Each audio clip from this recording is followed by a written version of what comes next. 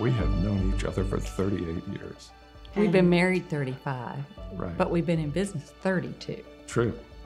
We still like each other. That's true. It's amazing. Oh my gosh, it started in 1988. And we both knew we wanted to own our own businesses. We wanted something we could build and help people. the industry that we got into, which was the staffing industry, just checked all the boxes for what we wanted. So in 1988, we bought a franchise of a staffing company and came back to the East Coast to start it and grew that for 15 years. We had a contract with them. I think the hardest year we went through was um, the year 9 11 hit. Um, we were going about our business, everything was great. We were the top franchise uh, out there in the country.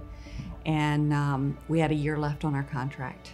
And then three months later, 9 11 hit and half our business went away. Three months after that, we transitioned to become a, a non franchise. We had a coach helping us decide how we were going to grow this business because we decided after going through 9 11 we wanted to be a national staffing business. And I remember sitting down with coffee and Mike and the coach, and they said, We need you to lead this company. As the company changed and morphed, and it became apparent that there needed to be a more emphasis on culture, there came Tana's main strengths. She has a grasp on culture that is genuinely heartfelt. The, the company culture is so important to me that people feel valued and people understand what their strengths are. And that we're empowering the working workforce. How can we not empower ourselves first?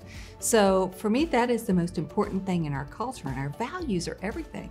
We have strengths that we don't use because we were told we shouldn't use them. My one that my mother always said was I was bossy. Well, now I'm leading the company.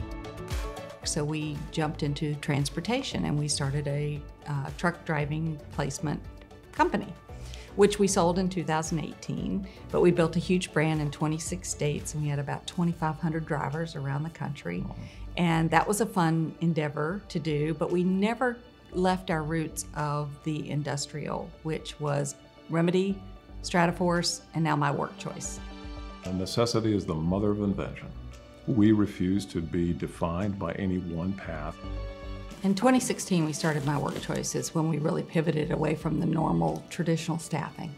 So my work choice is a technology and an app that is on their smartphones. And what it does is it enables workers to be able to pick out schedules that fit their lifestyle.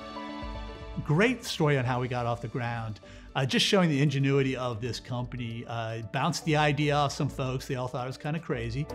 We saw that that opportunity to create flexibility was a key. We just had to figure out how to adapt that to very structured environments like manufacturing, distribution, warehousing, call centers. And that's what we did.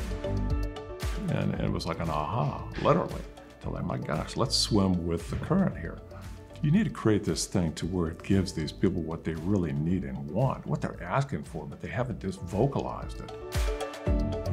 We're one of the number one recruiters in the country right now in any market that we go into because of the offering that we have. So we're attracting a lot more talent to our clients.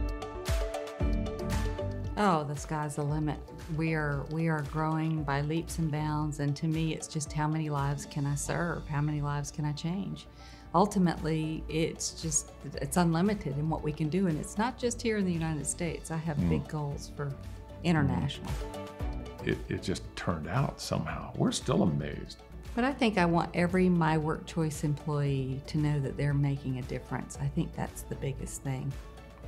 And the rest takes care of itself.